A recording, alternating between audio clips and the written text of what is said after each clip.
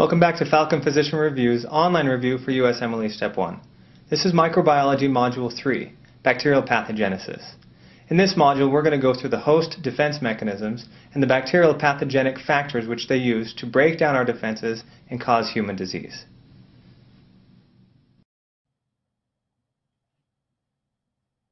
Welcome to Module 3 for Microbiology. This is an online review for USMLE Step 1 for Falcon Physician Reviews. First, we're going to talk about the factors involved in bacterial pathogenesis. Bacteria have, have evolved a number of features which help them cause disease. We're going to talk about adherence, invasion, the toxins they elaborate, the enzymes they use to cause disease, how they elicit excess inflammation, how they evade our phagocytosis and cellular mediated immunity, the capsules they use, their resistance to our antibiotics, and how they grow inside our cells. Transmission of bacteria only can come in a number of different ways. They can ride along in airborne droplets, we can ingest them in our food or in our water, or we can get them through sexual contact. We have evolved with a series of natural host defenses which protect us from infection. First and foremost, we have our skin and our mucous membranes which form a physical barrier. Our gut has evolved peristalsis and defecation to eliminate waste. Our respiratory tract has a ciliary action which sweeps the mucus and bacteria out of our pulmonary system and is frequently attacked by bacteria. We have coughing and sneezing which do the same purpose. The urogenital tract has urination to void itself of any waste, and we have our body temperature which inhibits bacterial growth. Bacteria, on the other hand, have a number of virulence factors, which are properties which allow the bacterium to overcome the host mechanisms. They have colonizing factors, which help them adhere, invade, acquire proper nutrients, evade our immune system and phagocytosis, and they go inside intracellularly, intracellularly and have survival mechanisms there. Exotoxins are made by bacteria which damage the host and facilitate infection. Endotoxins activate an inflammatory cascade. Bacteria also have sufficient numbers. If they can get a large enough bacterial load, they can overwhelm our systems Frequently, bacteria are able to come in under our immune status when we don't have immunity against them and take advantage of us. The first virulence factor we'll talk about is adhesion. This is what a bacteria uses to attach to and stick around its target tissue. Bacteria have different molecules, different proteins in their cell membrane, which will target receptors on their host target tissue, whether it be respiratory or gut epithelium or other parts of the body, the bacteria has membranes in its protein which help it go to its target tissue. Examples of adhesion molecules include chlamydia, which uses cell surface lectin to bind to N-acetylglucosamine. Mycoplasma uses protein P1 to bind to sialic acid. Type 4 cholera uses fucose and mannose. And strep pyogenes uses LTA, the M protein, and the F protein to bind to fibronectin. This next slide shows a figure of adherence with strep pyogenes. What you have is the strep pyogenes has its F protein, which binds to fibronectin. It's also called the fibronectin binding protein. You can see these little purple circles have these red triangles which are supposed to be on their cell membranes, binding to the receptor on the tissue and helping it adhere to it. From there it can set up its infection. With E. coli, fimbriae are what are used. The type 1 fimbriae bind mannose, and so you'll have cells with mannose on their cell surface that are targeted by the E. coli. A P. fimbriae or S. fimbriae is going to bind galactose, the glycolipids found in the P blood group. These are glycoproteins. One thing to remember is that the P. fimbriae gives you a UTI, where your P is made, and the S. fimbriae gives you neonatal meningitis. So different tissue selectivity gives you a different disease. This is a picture of E. coli with its fimbriae. And you can see how this guy, with all its little projectiles, is going to be able to stick onto some tissue and cause some trouble. Extracellular pathogens evade the humoral immune system to prevent extracellular killing. They also evade phagocytosis. The M protein inhibits phagocytosis of strep pyogenes. M protein is found on the cell surface and binds to fibrinogen, keeping it from being phagocytosed. Strep pyogenes also has a C5a peptidase that inactivates the C5a anaphylatoxin, leading to, decreased, de leading to a decreased inflammatory response. Staphylococcus aureus has protein A, which binds to the Fc portion of immunoglobulin and inhibits phagocytosis. This figure shows the protein A on the Staph aureus as the pink bar, binding to the immunoglobulin and the Fc region. The phagocyte comes by, looking for an Fc receptor to pick up, but they're all bound by the Staph aureus. Therefore, it can evade phagocytosis. Bacteria can penetrate, and once they penetrate, they can spread to different parts of the body. Salmonella typhi, Salmonella enteritidis, and Vibrio cholerae all can go through the bacteria through the epithelium and enter into the bloodstream and cause problems. Lysosomal killing of intracellular bacteria is one of the mechanisms the body has to kill bacteria and keep us healthy. The lysosome intracellularly binds with the phagosome and has a low pH which oxidizes enzymes. Once those two vesicles fuse, the enzymes start and they kill the bacteria inside the phagolysosome. This is cell-mediated immunity and it's important in killing intracellular bacteria. You will be tested on this concept, and we'll talk about it more in the immunology section.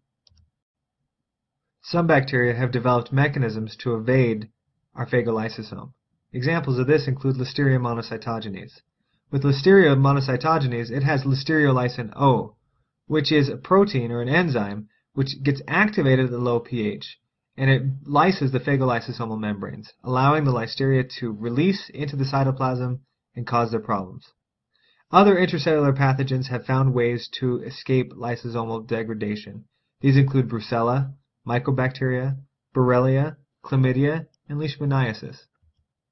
IgA proteases are anti-immunoglobulin proteases. They help allow survival on mucosal surfaces. You'll remember that IgA is found frequently along mucosal epithelium and usually gets bugs. And so if you have an anti-IgA anti protease, then you'll be able to evade the immune system. Important bugs which have this include H. flu, pneumococcus, Neisseria gonorrhea, and Neisseria meningitidis. Let's do some questions. A 60-year-old male has been in the hospital recovering from a coronary artery bypass surgery. The day after his Foley catheter is removed, he begins to complain of dysuria, frequency and urgency. Urinalysis reveals elevated white blood cells and numerous gram-negative rods. The ability of this pathogen to cause a UTI is mediated by. So what we have here is a clinical scenario where they've given us clues. We, they don't tell us the bug, but they give us clues about which the most common bug to cause a UTI in somebody who's been catheterized is. And then they ask us what mechanism that uses to, for pathogenicity. So we know that it's E. coli, and we, we know that it uses fimbriae in order to adhere to the epithelium of the urogenital tract and cause problems. A 27-year-old diabetic male presents with a fever and an abscess on his right inner thigh. You drain the lesion and send some of the purulent sample for gram stain and culture. Gram stain reveals numerous gram-positive cocci in clusters. The causative agent utilizes which of the following for pathogenesis? So we have a diabetic who's got an abscess that we've drained. They've given us the gram stain results of the bacteria, and so we know it's a, we know it's a streptococcus. From that, we just need to review which virulence factors they have, we know that protein A is the one that's frequently used. That's what we need to answer this question. Next question. A 24-year-old female immigrant presents with a two-month history of fever, chills, night sweats, 10-pound weight loss, and hemoptysis. Her chest X-ray reveals a 2 centimeter cavitary lesion in the left middle lobe. The causative agent employs which of the following pathogenic mechanisms for enhanced survival? From the clinical picture, we know that we're dealing with tuberculosis, or we should. We've got an immigrant, they've got fever, chills, night sweats, and weight loss, and we've got a cavitary lesion in the left middle lobe. So we know we have mycobacteria. And so we need to think of what mechanisms mycobacteria uses to evade the immune system and we know that that's evasion of lysosomal killing. When we go through the other answers, none of those are found with mycobacteria. Next question. A 12-year-old girl is brought in by her mother because she has developed a rash and rubbery bumps all over her body. She has had a fever and complains of knee, elbow, and ankle pain, which she states fluctuates. On questioning, her mother reveals that she had a sore throat about three weeks previously that resolved without treatment. She otherwise denies any past medical problems. The causative agent utilizes which of the following for pathogenesis? This is typical of step 1. They'll give you a clinical syndrome where they'll give you all kinds of details to help you know what the organism is, But then instead of just asking you what the organism is, they ask you which mechanism it uses. So we have here somebody who had a sore throat before, and it looks like they have strep, post-streptococcal rheumatic fever. So we've got the migratory polyarthralgias, we've got the bumps all over everything with an erythema nodosum, uh, and that, that's what our clinical scenario is. So we know we have strep pyogenes, and we think of the different mechanisms that it has. It doesn't use fimbriae, it doesn't use an endotoxin, it doesn't use protein A, but it does use the M protein. It does not evade lysosomal killing like Listeria monocytogenes does. Pathogenesis of tissue injury.